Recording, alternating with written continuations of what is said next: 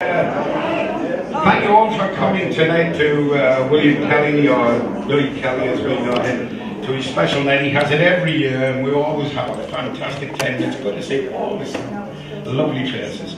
Uh, Billy? Yes. I know it's a special night for Yes. you. And, uh, and uh, I would like to hand the mic to you and I'd like you to, if Billy has something special tonight which to him and he wants to relate it to you and talk about it. Right, Billy? I do. Okay, I'm going to hand it on. Mr. William Kelley, ladies and gentlemen. A microphone. Did I ever tell you when I was in the Little League, Brian? Step by step.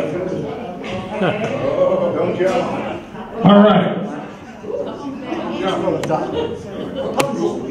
First of all, thank you all for coming. Um, tonight's a little special night.